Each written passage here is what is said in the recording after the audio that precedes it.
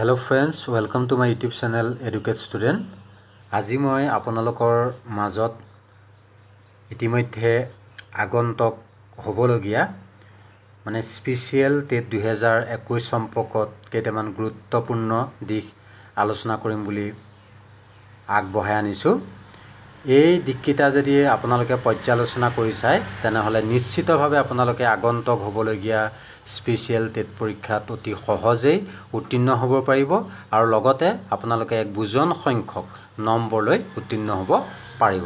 আহকচোন আমি দিশকেইটানো কি জানি থওঁ। এতিয়া প্ৰথম দিশটো অৰ্থাৎ প্ৰথম টিপছটো হৈছে টেক্সট বুক এতিয়া টেক্সট বুক বুলি ক'লে সাধাৰণতে আমি বিশেষকৈ ছিক্সৰ পৰা আমাৰ ক্লাছ ছিক্সৰ পৰা দশম শ্ৰেণীলৈকে বা তাৰ আগৰ আগৰ শ্ৰেণীৰখিনিও আপোনালোকে ল'ব পাৰে। আগৰ শ্ৰেণী মানে বিশেষকৈ আমাৰ প্ৰথম শ্ৰেণীৰ পৰা যি পঞ্চম শ্ৰেণীলৈকে যিখিনি টেক্সট বুক আছে সেইখিনি মই ইয়াত আচলতে লিখি নিদিলোঁ সেইটোও লিখিব লাগিছিলে ফাইভ টু টেন বুলি ইয়াত উল্লেখ কৰিব লাগিছিলে। সেইটো আপোনালোকে জানিব যে পঞ্চমৰ পৰা দশম শ্ৰেণীলৈকে যিবিলাক আমাৰ টেক্সট বুক আছে সেই টেক্সট বুকবিলাক আপোনালোকে খৰচী মাৰি পঢ়িব।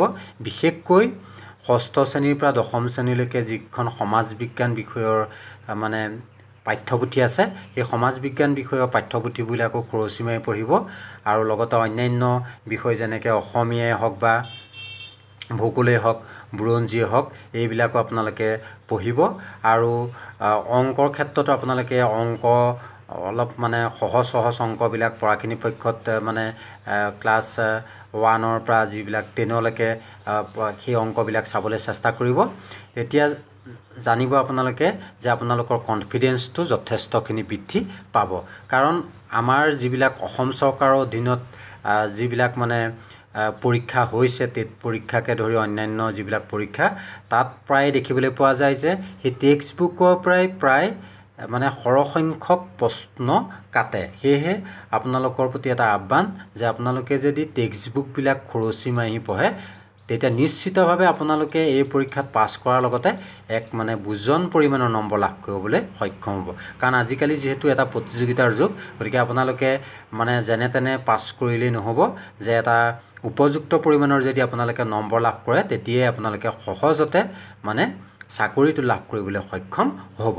এতিয়া এতিয়া চাওঁচোন আমি পিছৰ যিটো তাৰ দিশ আছিলে অৰ্থাৎ পিছৰ পইণ্টছটো পিছৰ পইণ্টছটো হৈছে নিউজ পেপাৰ এণ্ড মেগাজিন এতিয়া সাধাৰণতে আমাৰ মানে পৰীক্ষাবিলাকত বিশেষকৈ টেট পৰীক্ষাতে হওক সাধাৰণ জ্ঞানৰ ওপৰতো প্ৰায় প্ৰশ্নবিলাক আহে যিবিলাক আমি জি কে বা কাৰেণ্ট এফেয়াৰ্ছৰ ওপৰত। গতিকে কাৰেণ্ট এফেয়াৰ্ছৰ ওপৰত আপোনালোকৰ জ্ঞানখিনি এটা মানে সবল কৰি তুলিবলৈ হ'লে আপোনালোকে সদায় নিয়মিতভাৱে আপোনালোকে মানে নিউজ পেপাৰ পঢ়ক অসমীয়াই হওক বা ইংৰাজী মাধ্যমেই হওক সেই নিউজ পেপাৰবিলাক আপোনালোকে চাই যাওক।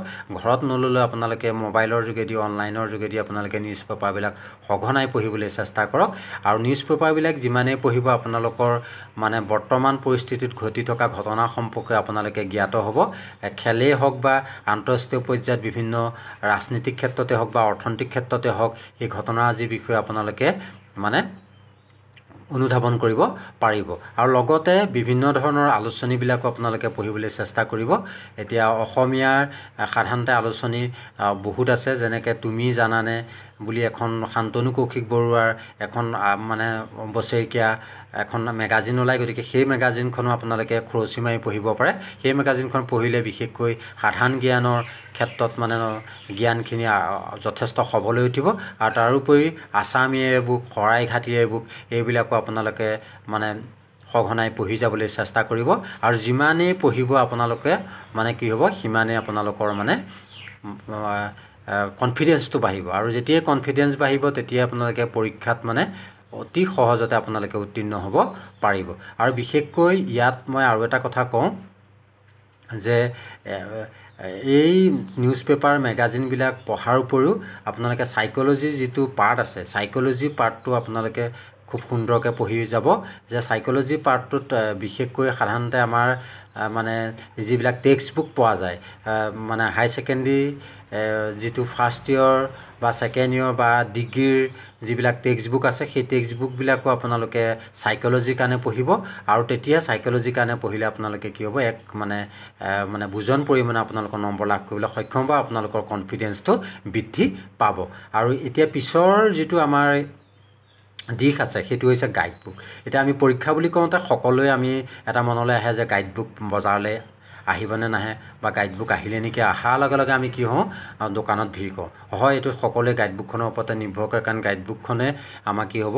যে পৰীক্ষাটো মানে তাত গোটেই চিলেবাছটো সম্পৰ্কে তাত কিছুমান প্ৰশ্নোত্তৰ দিয়া থাকে। কিন্তু আপোনালোকৰ প্ৰতি এটা অনুৰোধ যে আপোনালোকে গাইডবুকখনক লওক গাইডবুকখন আপোনালোকে কিনক মানে বিভিন্ন পাব্লিকেশ্যন উলিওৱা গাইডবুক কিনক সেইটো মই আপোনালোকক বাধা দিয়া নাই যে গাইডবুকবিলাকো পঢ়ক। কিন্তু গাইডবুকখনকে সম্পূৰ্ণৰূপে আপোনালোকে বেছ কৰি নল'ব কাৰণ গাইডবুকখন পঢ়িলে আপোনালোকে পৰীক্ষাত মানে এটা ভাল নম্বৰ লাভ কৰিম বুলি নাভাবিব। সেই গাইডবুকবিলাকৰ লগতে আপোনালোকক মই যিখিনি আগত কৈ আহিছোঁ সেইখিনিও আপোনালোকে মানে গুৰুত্ব সহকাৰে অধ্যয়ন কৰিব। আৰু তেতিয়া দেখিব যে আপোনালোকে পৰীক্ষাটো খুব সুন্দৰভাৱে আপোনালোকে দিব পাৰিছে আৰু আপোনালোকৰ নম্বৰো এক উপযুক্ত পৰিমাণে আহিব। আৰু চাকৰিটোতো সহজতে লাভ কৰিব পাৰিব। এতিয়া আজিলৈ আপোনালোকলৈ এইখিনি আগবঢ়াইলোঁ আৰু পৰৱৰ্তী পৰ্যায়ত মই বিশেষকৈ স্পেচিয়েল টেটৰ প্ৰশ্নোত্তৰসমূহ আপোনালোকলৈ আগবঢ়াম।